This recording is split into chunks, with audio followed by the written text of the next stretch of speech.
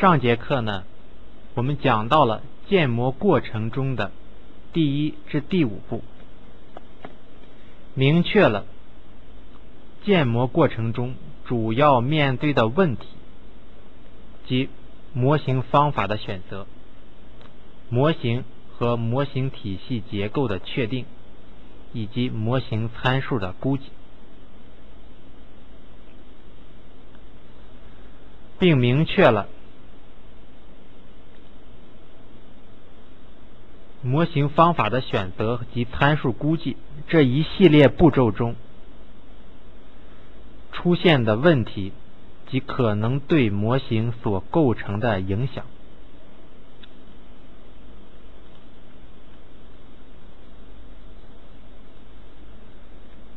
我们指出，构建模型的过程。本身也是一个科学分析与经验使用相结合的方法。有些人就可以在比较短的时间内构造出比较科学的模型，这其中有一个经验的问题。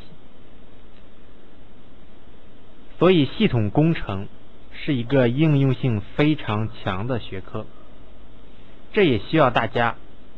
不仅仅停留在书本上的知识，而更多的是将自己所学的理论应用到实际工作中，并在实际工作中积累经验，提高自己对于模型的认识，对于模型构造方法论的体验，最终积累起比较丰富的经验。最终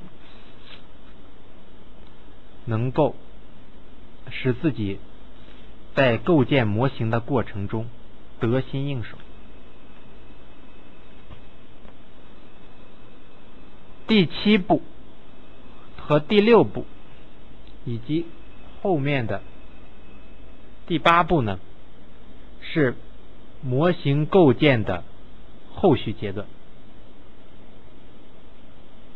因为任何人，即使他的经验再丰富，他的系统工程方面的学术修养越高，很高，那么也不可能保证自己所构建的模型就是科学合理的。系统工程研究方法论中包含的反馈观点，也告诉我们，模型的系统工程的研究方法。离不开反馈环节，因为系统工程是从实践中来到实际中去的学科。那么建模的过程，作为对系统工程学科研究与应用的一个具体体现，自然也离不开这样一个反馈环节。那么这个反馈环节。主要就是体现在六七八步，因为模型运构建完之后，包括参数已经估计好，并且嵌入到模型内部，这样模型及其模型体系就要投入运行。当然，这种运行是一个宽泛的抽象的运行，既包括一些比较具体的计算机仿真模型的运行。也包括一些数学分析模型的计算过程。通过对输入输出数据的比较，来看一看这个模型运行的效果。任何真实的开放系统都有一个输入和输出环节。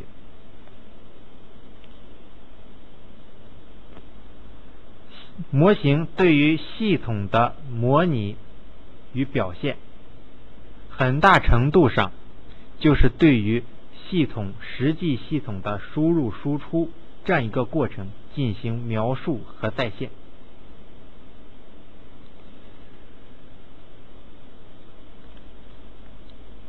那么，实际系统的输出就是我们所构建模型的。期望输出。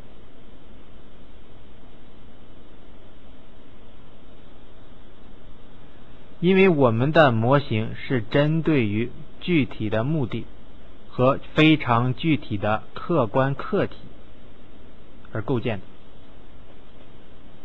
比如说，在人口增长模型中，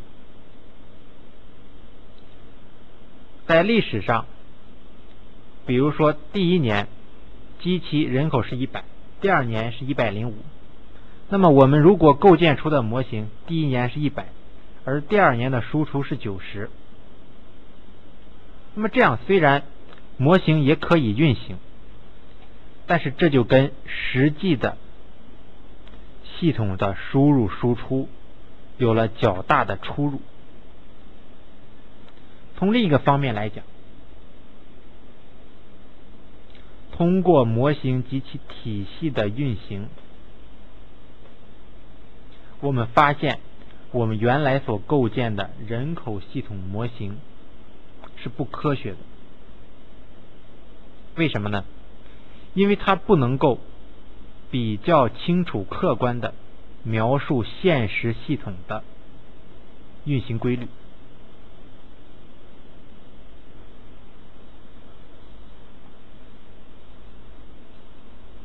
这样就必然要对系统。这样就必然要对模型系统进行检验，看一看问题究竟出在哪里。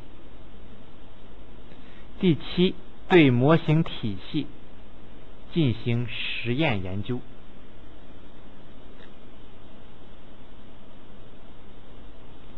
把这样一个模型放到具体的环境中，当然这个环境呢也是一个抽象宽泛的概念。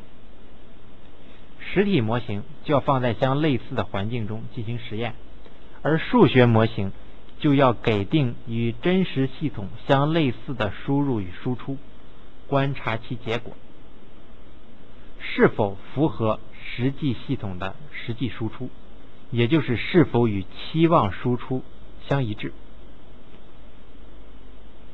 第八，对模型进行必要的修正。针对于第六阶段和第七阶段的工作，我们可以发现模型现实所存在的不足，并且尽量通过分析找出不足之处的原因，然后对模型进行必要的修正。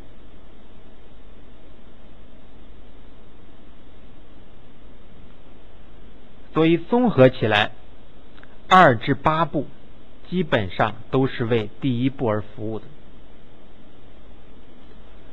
建模的要求不仅体现在对模型要素等等方面的刻画上，也体现在对模型准确性的要求上。应用于不同目的、有不同要求的模型。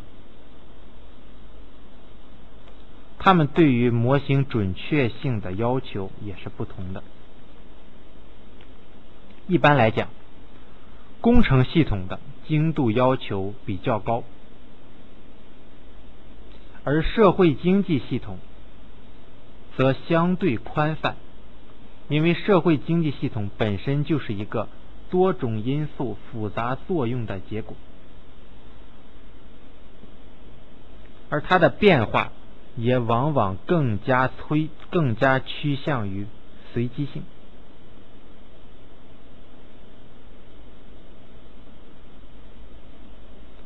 比如说，在社会经济系统中，更多的模型是倾向于对客观实体趋势的研究。比如说，在系统动力学模型中构建的世界系统动力学中，重点研究的是城市及其城市发展所经历的城市的产生、城市的成长、城市的成熟以及衰退阶段。但究竟具体到城市的成长阶段是经历十年、八年。或十三年、十二年，这个对于系统的模型并不是非常重要的，因为建模的目的就是为了对趋势进行研究。只要大家通过对模型的研究，哎，发现了城市的发展要经历这几个阶段，那就可以了。再比如，对于经济周期的研究。究竟你这个经济周期要持续十年、二十年，还是三年、五年？这个具体的、严格的数字意义上的结论，并不十分重要。重要的是，我们通过仿真的手段，验证了经济周期的存在性及其内部的作用机理，并探讨通过什么样的方式。来减轻周经济周期对于经济发展的影响，或者说来减轻经济的波动问题。哎，这是我们所要研究的一个具体问题。但是对于一些工程系统而言，比如说化学反应，就需要一些非常明确的压力、温度等条件，所以。在这种情况下，问题的研究者和模型的构建者就更加关注于系统的准确的一些数据，所以这就是建模的要求差异，使得我们对于模型的构造。模型的运行和模型的修正有了比较大的方法上的差异。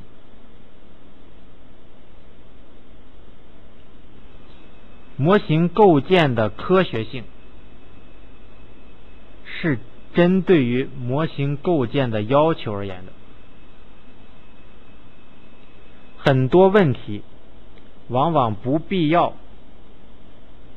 研究某一方面。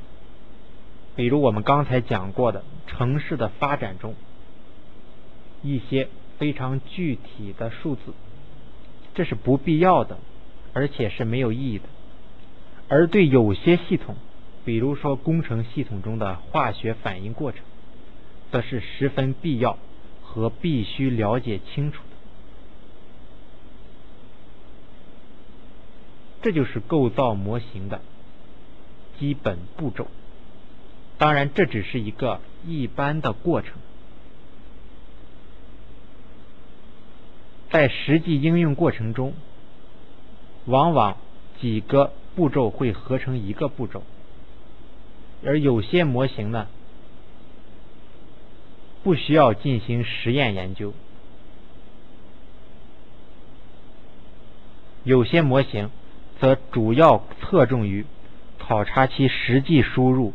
与期望输入的差异，这些都使得我们对于模型的研究要必须确定、必须认真研究的是第一步建模的目的和要求，因为今后因为在第一步的后续几步的过程中，虽然这些过程是比较一般的过程。在很多模型的构建过程中都要经历，但其要求、但其具体的操作方式则有所不同。不同的根源来自于建模目的和要求，所以这八步希望大家明确，并且在实际的建模过程中认真领会。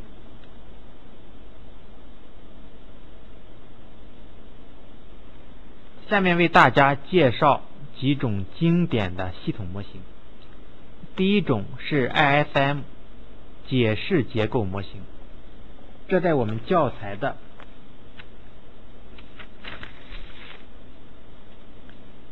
第七十页到后面的八十三页有所讲述，它主要是通过。对于系统模型中专家意见的把握，通过一些科学和偏定量化的处理，来搞清楚系统各个要素之间的决定关系。这在以后的课程中，我们会详细介绍解释结构模型法的构建与求解过程。第二是状态空间方法，这种方法供大家了解，它也在我们教材的 八十四页至九十二页有所介绍。第三是系统动力学方法。它就是我们前面所提到的系统仿真方法的一种体现和代表。前面我们提到的世界动力学模型和城市动力学发展模型，都是这种方法的应用结果。这在后面我们将对模型构建方法及软件的使用方法进行详细的介绍。第四。是冲突分析方法，主要是介绍两个利害关系有冲突的局中人之间，他们之间如何通过调整自身的行为，来达到一个相对稳定的结果。比较经典的例子是冷战期间发生在古巴的。美苏之间争端的一个古巴导弹危机。下面为大家介绍系统工程模型技术的新进展。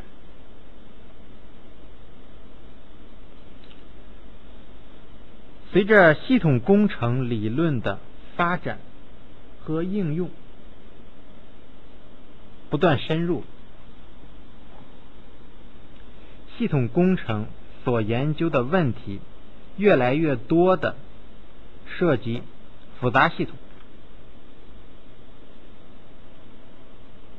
非线性系统。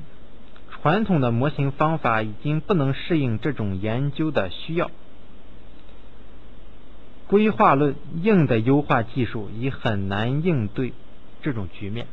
当然，这里面硬的规划技术更多的是指传统的。运筹学理论中的优化算法，高度非线性及复杂性是现实系统的基本特征。用传统的硬技术理解和预测这种多变量、多参数、非线性的复杂系统是不适应的，而且很难建立起。合适的数学模型，因此迫切需要建立与之相适应的新的软技术。传统的方法由于其精确性和定量化，而不能处理现实复杂多变的系统。事实表明，在处理这类系统时，必须面对程度越来越高的不精确性和不确定性问题，因为复杂系统往往是具有不确定性非常强的系统，它的来源主要是内部因素的复杂性，使我们难以完全准确的把握。随着信息技术和计算机智能化的发展。针对这种情况，软计算被提出来。软计算不是一个单独的方法论，而是一个方法的集合。在这个集合中的主要成员包括模糊逻辑控制、神经网络、近似推理以及以及一些具有全局优化且。全局优化性能，且通用性强的算法，如遗传算法、模拟退火算法、禁忌搜索、禁忌搜索算法和蚁群算法等等。这些方法呢，都属于启发式算法。它们的特点是，更多的借鉴了生物原理和人的思维，因此有人也称之为拟人方法。比如说，神经网络就是模拟了人脑中神经系统的学习功能而创立的一种心算。大家知道一个比较经典的例子是人脸的识别，我们可以非常清楚的，而且非常容易的识别出今天和明天同一个人，能够非常清楚的界定出来。刚出生的婴儿就能够非常容易的界定出。非常容易的认出哪个是他的母亲，这就是人脑一个非常重要的并行功能。而对于计算机而言，这就非常的困难。今天这个人穿了一件黑色的衣服，可能第二天穿一件白色的衣服，那么计算机系统很可能就没有办法识别。而认为是不同的人，而对人类则完全没有这个问题，这就使得与人体或人脑作用相关的一系列方法成为我们研究的焦点问题。如何从生物学的领域借鉴、应用仿生学的理论？创造出新的、崭新的搜索算法，是目前在模型领域所研究的热点问题。比如说，遗传算法就更是模拟了生物系统中进化的一个非常重要的特点。通过对于遗传基因中的变异组合等等特征的模拟。遗传算法可以利用一种新的机制来寻求一个问题的最优解。它主要是借鉴了优胜劣汰的生物进化与遗传思想而提出的一种全局性并行搜索算法。它的仿生呢，具体体现在自然界生物的进化，通过自然选择和有性生殖两个基本过程不断进化。在漫长的进化过程中，生物逐渐从简单的低级生物到高级生物，这是一个完美的进化过程。按达尔文进化论的观点，这一过程遵循适者生存、优胜劣汰的自然选择原则，它使自然界生物的演化问题得到较好的解决。正因如此，人们开始把进化这种奇异的本领看成值得仿效的东西，所以这就是借鉴了。仿生学的原理，即用搜索和优化过程模拟生物体的进化过程，用搜索空间中的点模拟自然界生物体，经过变形后的目标函数度量生物体对环境的适应能力。当然，这一适应能力表现在遗传算法中，就是解的评价。因为每一个可行解总是对应一个相应的适应函数，当然这个适应函数可能是全局的最优，可能是最大化或最小化。把这些对于目标函数的求解转化为适应函数，来衡量每一个解的优劣。它是这样一种思想。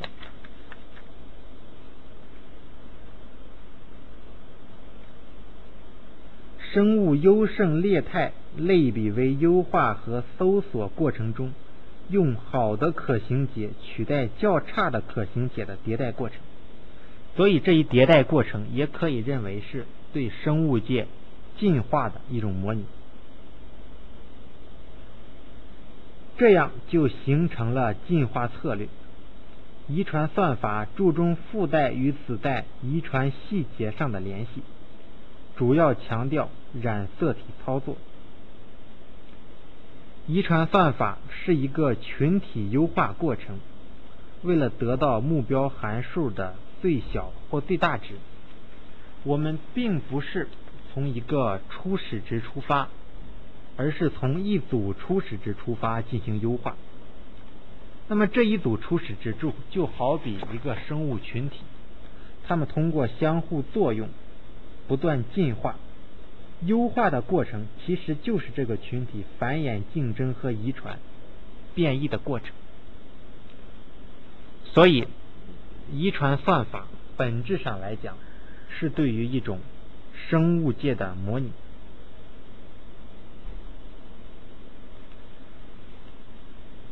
这也是目前我们对于软计算方法的。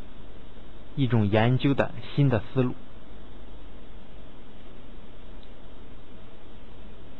因为大自然有其自身特定的规律，生物系统在完全没有外部指导和干预的情况下，通过自身的自组织行为，而达到了今天这样一种相对非常合理、科学的这样一种情况。那么其内部的机理。是完全值得我们研究和借鉴的。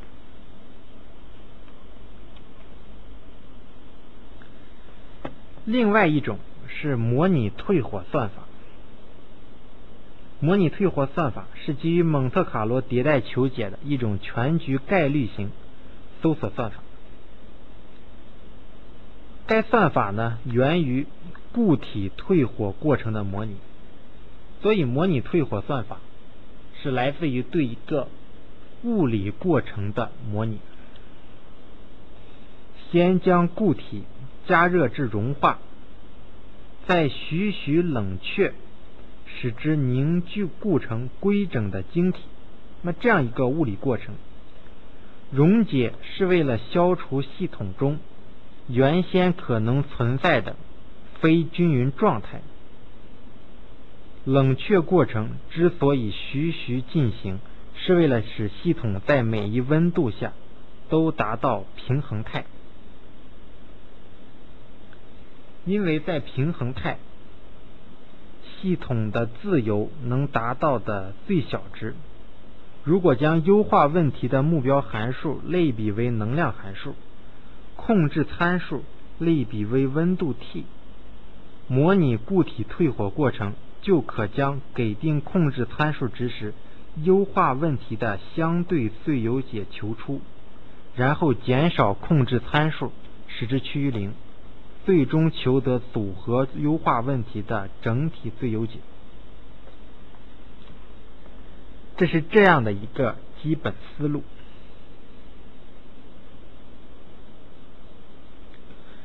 模拟退火算法呢，是一种全局优化优化算法。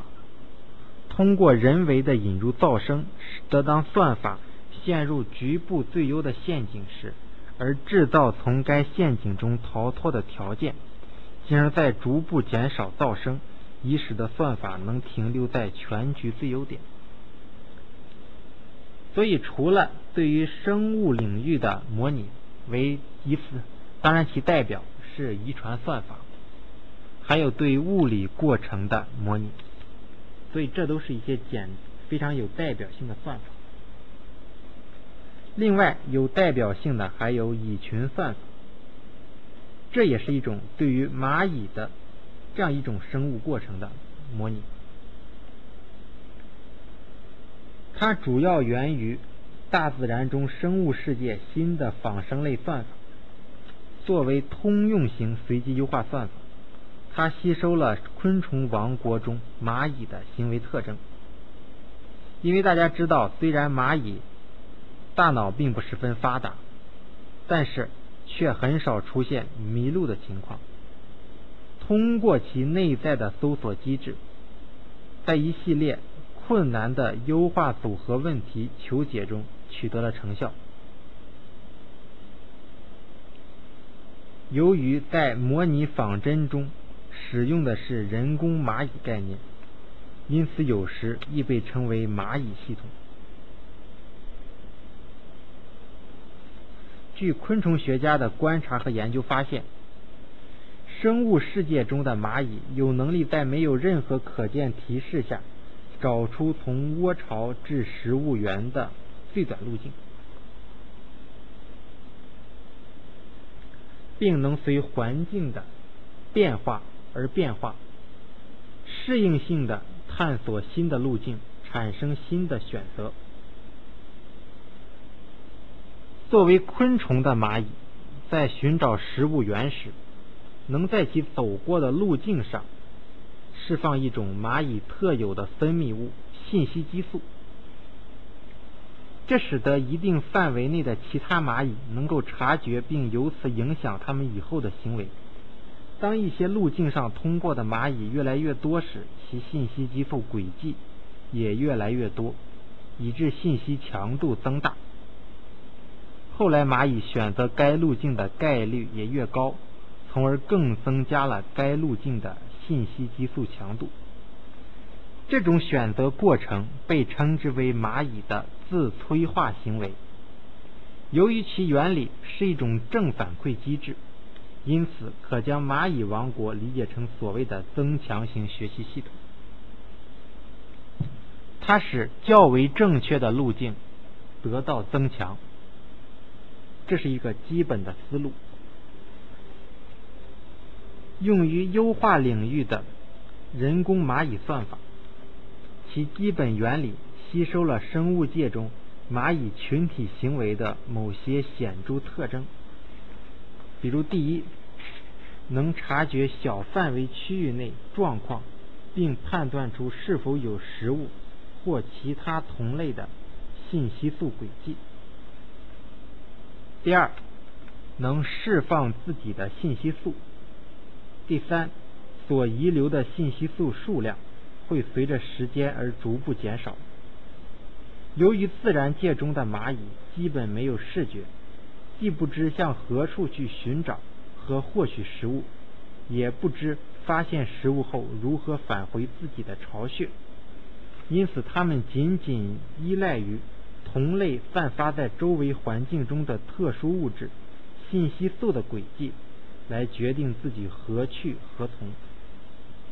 有趣的是。尽管没有任何鲜艳知识，但蚂蚁们还是有能力找到从其穴巢穴到食物源的最佳路径，甚至在该路径上放置障碍物之后，它们仍然能很快重新找到新的最佳路线。那么这些解决机制都为我们创造新的系统模型提供了非常好的思路。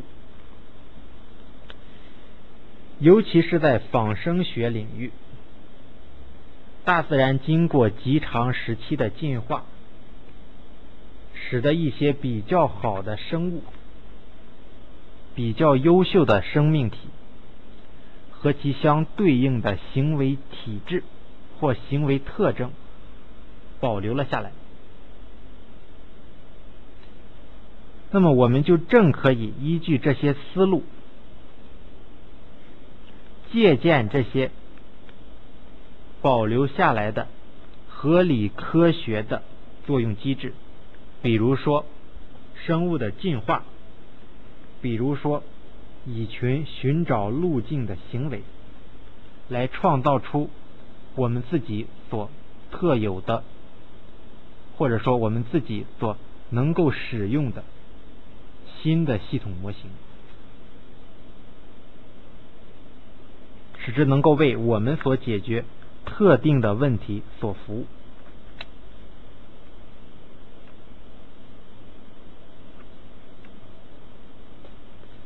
另外一种比较新型的网络技术就是 Patry 网，这在教材里面没有提到。Patry 网是一九六二年由德国科学家 Patry 在其博士论文用自动机通信中所提出来的一类模型方法。它主要是描述了行为与资源之间的关系。通过位置集合中储存的标记和与此相关联的变迁，来描描述和分析系统的行为。目前已广泛应用于通信协议的分析。举一个例子，比如说我们通常。遇到的计算机死机或称死锁问题，实际上就是资源调度不当而引起的。那么，通过拍对由 Patry 网对其进行建模，通过对死节点或死状态的分析，可以寻找出形成死锁问题的原因，并且。可以创造出一系列的规则，制定出一系列的规则，来尽可能的避免思索问题。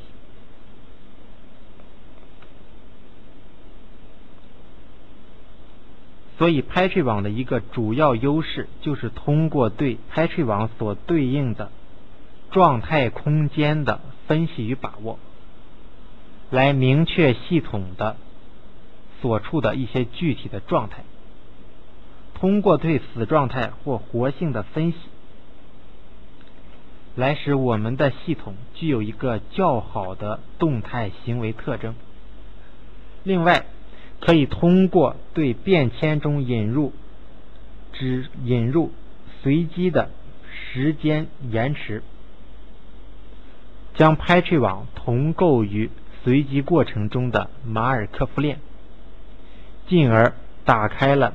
用 Patry 网进行系统性能分析的大门，那么这都是新型网络技术 Patry 网，而且近年来呢应用非常多，已广泛应用到了供应链和物流的模型构建，以及企业管理中的工作流等等。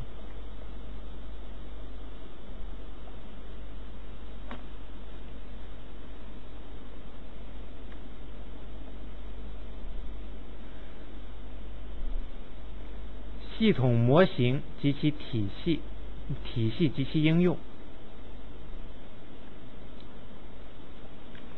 主要还有基于系统分析框架的系统工程模型方法。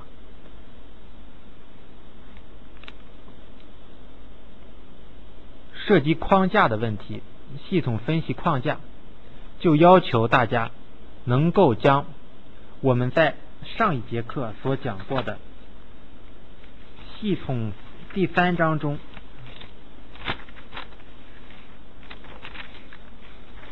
系统工程方法论图三至三这样一个系统分析过程中，大家可以结合以后的学习过程和你自己已经知道的模型，看一看哪些模型。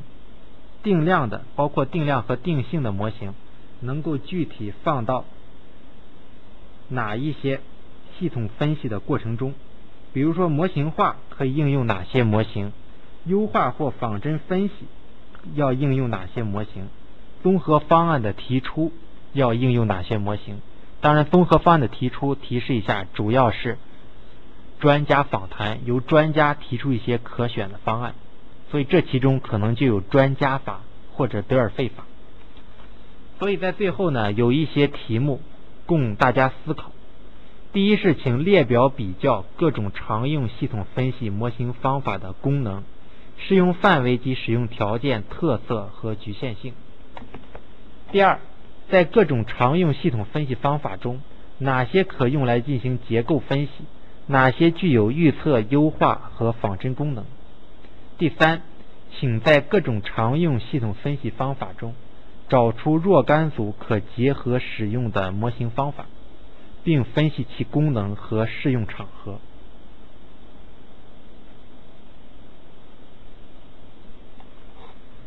下面有一个思考练习题，请以某实际管理问题及其分析研究为对象，当然这里面呢可以是你亲身经历的，或者是第二手的，就是间接得来的资料，总结归纳将多种系统分析方法综合运用的一至二种类型，并加以说明。当然，这其中我们的思考题中呢，主要。都是涉及到模型体系和技术路线的设计问题，因为系统工程是一门倾向于实际的课程，同样是一个科学与科学与艺术相结合的课程。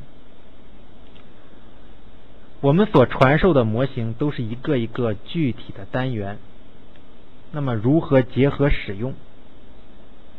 是关系到我们能不能较好的用系统工程中的模型解决实际问题的一个非常重要的影响因素。好了，这一部分呢就讲到这里，谢谢大家。